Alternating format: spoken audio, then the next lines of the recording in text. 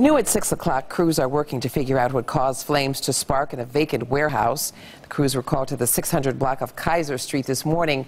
We spoke with a neighbor who says the property is actually a nuisance, and she says she recalls another fire that broke out there, and she wants the building knocked down. So that means we started asking about the problem of vacant properties in the Miami Valley. Jordan Burgess is getting answers about what it will take to knock them down.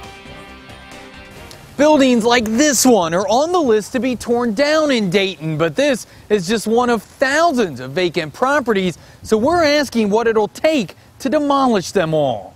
Firefighters finish off the flames at this empty warehouse, another of the more than 50 vacant fires they'll put out this year. Why is it so important to get these properties down?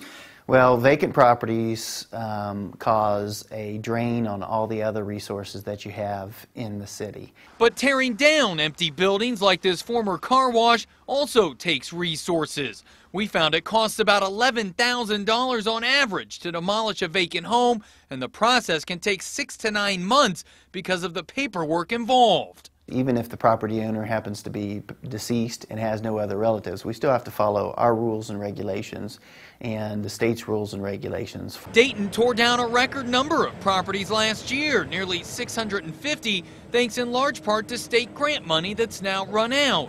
Some extra federal grant money is on the way, but the strings attached to it will slow the process for using it. We started those a couple months ago, putting the paperwork through, so that when the funding does come through, we're ready to start taking those down. With an estimated 6,500 vacant properties in Dayton alone, the problem can seem as large as the hole left in this car wash by a vehicle. We wanted to know what it will take for the area to get the vacant issue under control there is an end to it.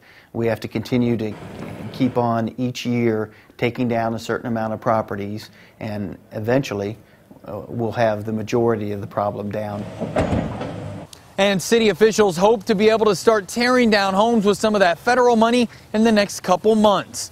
Jordan Burgess, 2 News, working for you.